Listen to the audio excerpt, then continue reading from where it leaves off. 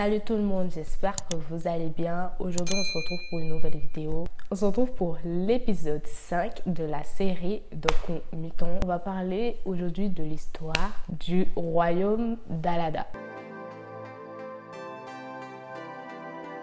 Au début, Alada était la capitale d'un royaume fond à Dansa qui signifie le lieu de la colère en fond. Alada est le thème utilisé par les locaux pour désigner passer dans l'au-delà. Les termes Alada, Ardra, Arda, Grand Ardra ou encore en français Ardre sont utilisés par les colons pour désigner ce royaume.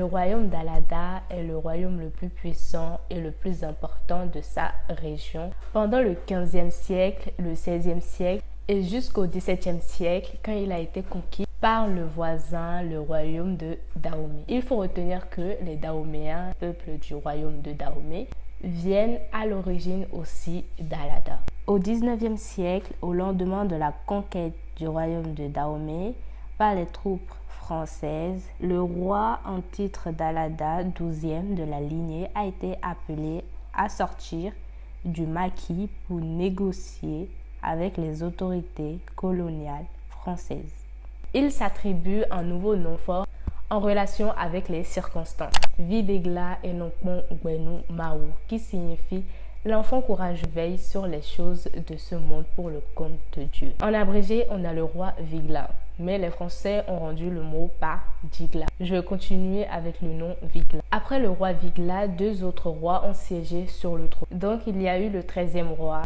et le 14e roi. Le 15e roi est un fils de Vigla qui a pris deux noms forts. Je n'ai pas voulu écorcher le nom de ces gens hautement respectés, donc je, je vous les afficherai quelque part les noms. C'est en dehors de mes compétences.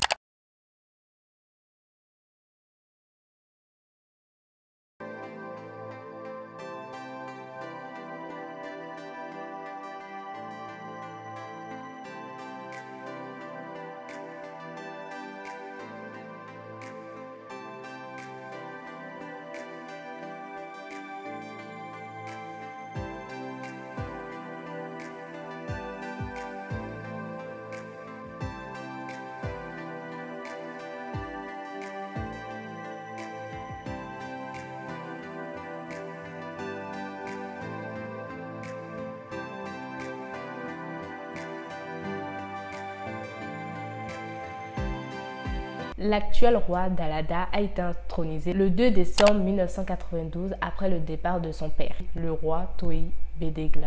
Il a pris le nom fort de Kwadegwe, qui signifie le léopard à rugir. Toussaint l'ouverture, héros de l'indépendance d'Haïti, est le fils d'un prince d'Alada, qui était un spécialiste en médecine traditionnelle. La ville d'Alada lui a consacré un monument situé à la sortie nord de la ville sur la place Toussaint l'ouverture. Pour les Haïtiens, Alada est une ville sainte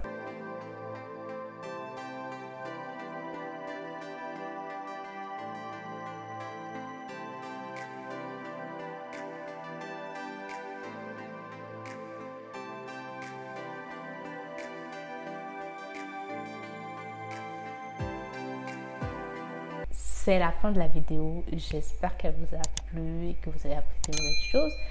Et du coup, on se retrouve la prochaine fois pour une nouvelle vidéo. Bisous